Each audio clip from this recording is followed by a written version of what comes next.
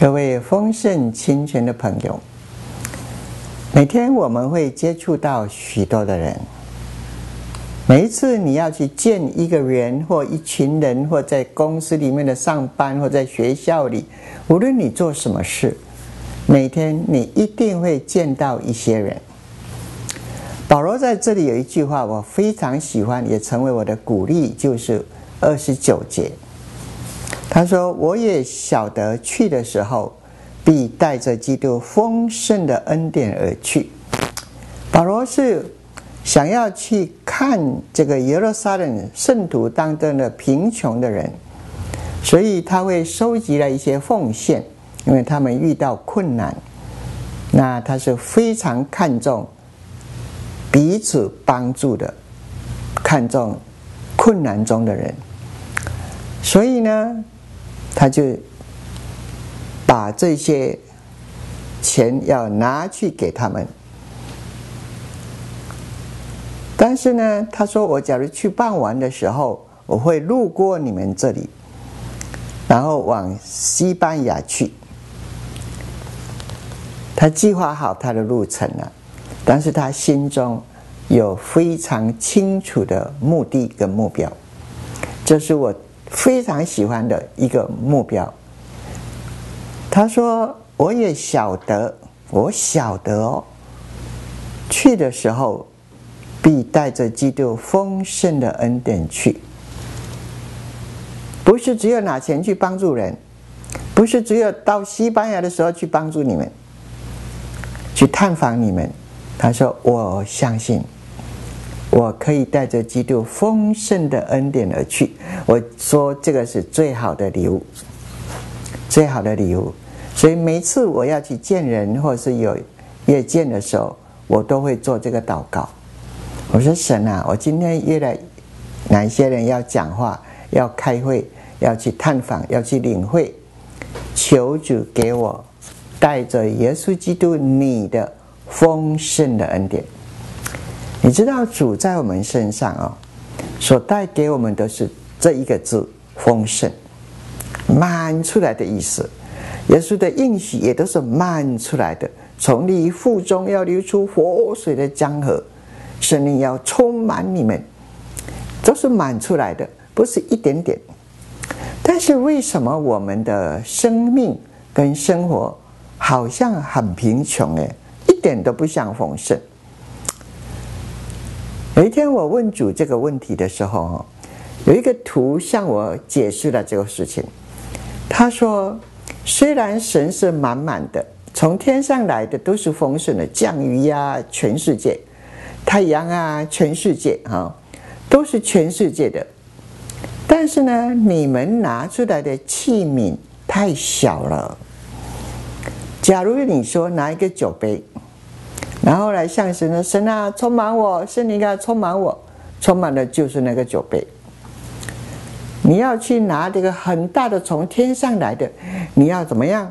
打开你的心，你的心打开起来，说神啊，我的全人全心向你打开，求你用你丰盛的恩典充满我。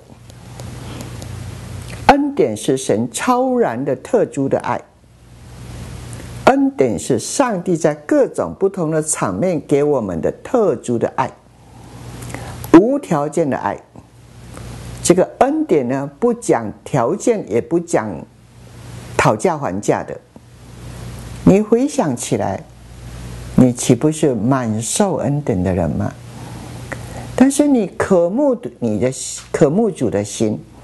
假如是心呢，很多房间，你只有一个小角落给主，说主啊，其他你不要管哦。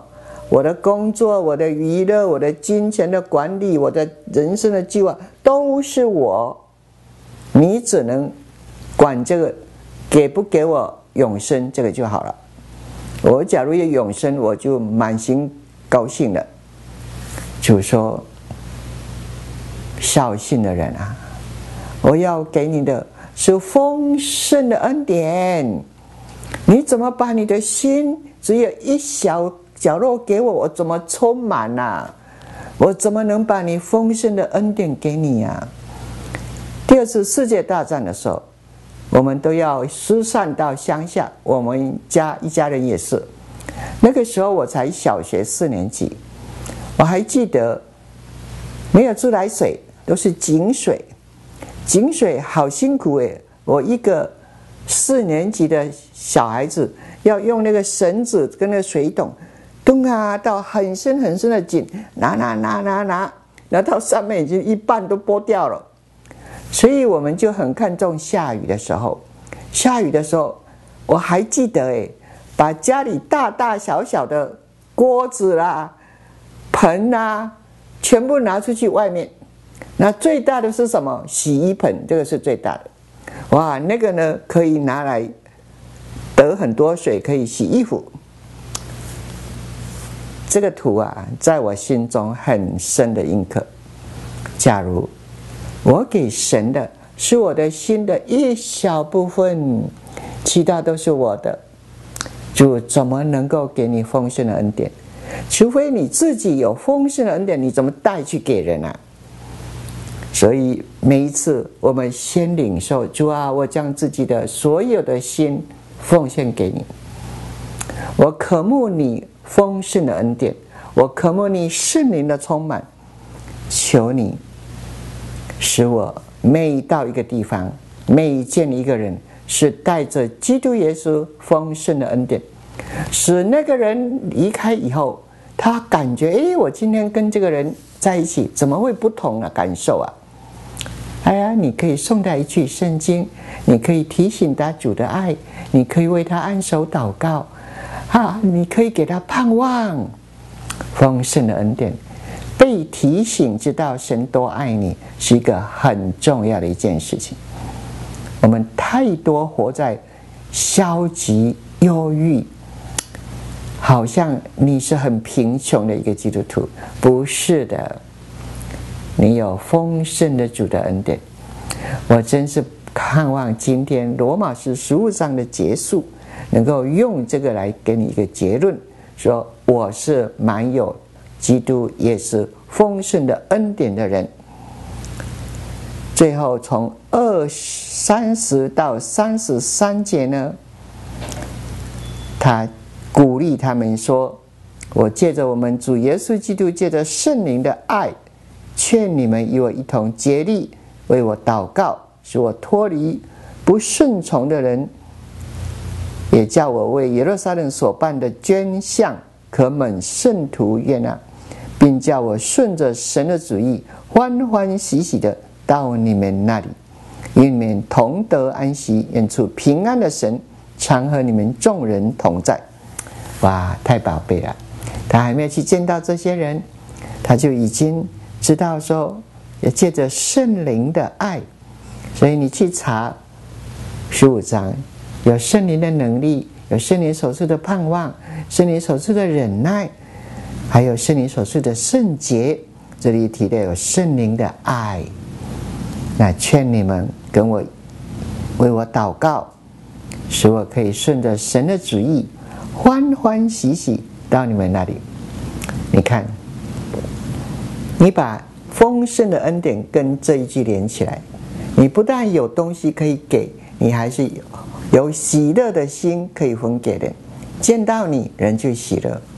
感谢主，罗马书十五章，宝贝，叫我们看到神实在是在我们身上的主意是何等的大。我们彼此接纳，彼此建立，效法基督。我们也向着前面外邦人的得救来加入这个团。我们也看重圣灵所出的忍忍耐、盼望、圣洁，还有爱。主要我们感谢你，我们是何等蒙恩的一群。主啊，我们求你帮助我们，把我们全个心向主打开。让主你来管理我们每一个心房，是主的。主啊，帮助我们每天亲近你的时候，能够聆听你每天向我们一句话，来提醒我们。祷告奉子的名，阿门。